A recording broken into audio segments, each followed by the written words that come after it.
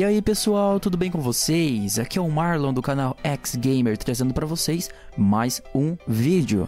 E galera, olha só o que a gente vai discutir no vídeo de hoje. Tem uma coisa que o pessoal sempre pergunta, sempre tem essa dúvida. O GTA Online, ele se passa antes ou depois do modo história? É isso que a gente vai ver nesse vídeo e tentar responder pelo menos com as pistas que eu encontrei. Então vamos lá. Primeiro, como vocês sabem, você cria o seu personagem online só uma vez. Você só faz ele uma vez e não pode mais mudar. Inclusive eu falei isso no último vídeo, que poderia vir cirurgias plásticas para o GTA Online, tipo colocar clínicas na cidade que ideias para você alterar o seu personagem depois, tipo o rosto, a cor do olho, a cor da pele, essas coisas. Clica aí no vídeo depois ou link na descrição, mas você cria então o seu personagem só depois que você completa lá o prólogo do modo história. E como vocês veem no começo do GT Online, tudo indica que o nosso personagem online, ele é um criminoso que tá chegando na cidade agora, tá tipo chegando na cidade de Los Santos. E aí ele vai conhecendo o pessoal, ganha um carro lá, ganha um apartamentozinho bem barato e começa a sua vida ali de crime na cidade. Já na atual ou nova geração, ele tá tipo saindo da prisão. Tipo, ele foi pra cidade, ficou um tempo, é como se fosse uma continuação, né?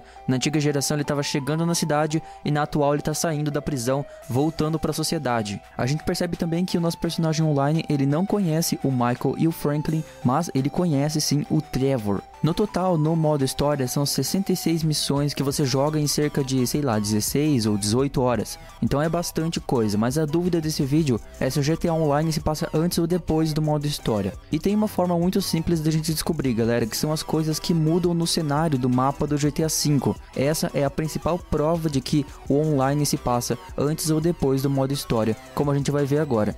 Muitas coisas que são destruídas na cidade ficam destruídas para sempre na história. Por exemplo, tem uma das missões onde o Michael derruba uma mansão lá em Vinewood. É a mansão do Martin Madrazo e é isso inclusive que começa toda a história. Só que essa mansão ela não serve muito bem como uma prova, porque ela é reconstruída pelo Michael pro Martin Madrazo ao longo já da história do modo história. História do modo história é meio redundante, né? Mas tudo bem. Então essa mansão ela é derrubada, mas ao longo da história ela volta. Então não serviria em nada como prova. Só que existem algumas coisas que são destruídas e ficam ali destruídas. E não só isso, como uma segunda prova que eu já vou falar, e todas elas giram em torno do Trevor. O Trevor é uma peça-chave para determinar quando o online se passa. Você não está entendendo? Então deixa que eu vou explicar. Por exemplo, vocês lembram que em algum momento do jogo tem uma casa que é destruída por um helicóptero do Trevor lá em Paleto Bay, vocês lembram disso? Com uma casa que foi explodida. Pois é, nesse momento aí, pensem comigo, se o online se passasse depois, como que essa casa aí em Paleto Bay ela tá intacta, ou seja, tá inteira lá no GT Online. Isso só pode significar uma coisa: o online se passa no momento anterior a essa casa ser destruída, ou seja, antes do modo história. Essa é a primeira prova, galera. Primeiro ponto a favor do online se passando antes do modo história e não depois. Mas não é só isso, tem mais uma prova. O simples fato do Trevor tá vivo no GTA Online, afinal de contas a gente faz várias missões para ele, como vocês lembram, no modo online. Tem várias missões lá que você faz que é pro próprio Trevor. E se o Trevor tá vivo, só pode significar uma coisa: o modo online se passa antes do modo história. E se você não entendeu por quê, spoiler agora. No final do jogo, você escolhe se o Franklin mata o Trevor ou o Michael. Quem já jogou lembra disso, né?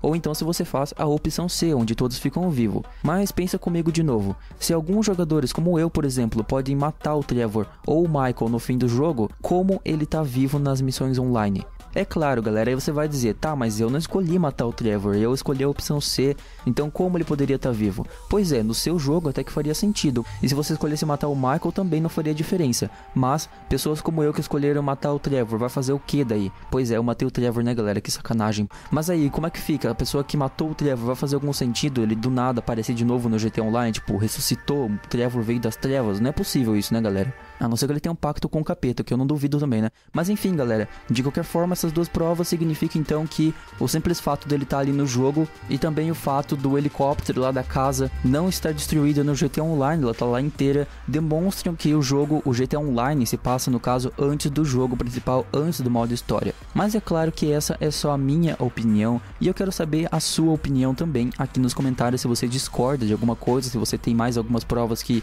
demonstram o contrário ou que demonstram a favor, deixa aqui nos comentários. E galera, se você gostou do vídeo, não esquece de deixar aquele like aqui embaixo, adicionar o vídeo aos favoritos, compartilhe com o pessoal por aí, acompanhe as páginas do canal, baixe a extensão gratuita e inscreva-se aqui no canal para não perder vídeos novos. É isso aí pessoal, muito obrigado por assistir e a gente se vê em breve no próximo vídeo. Falou então, até mais.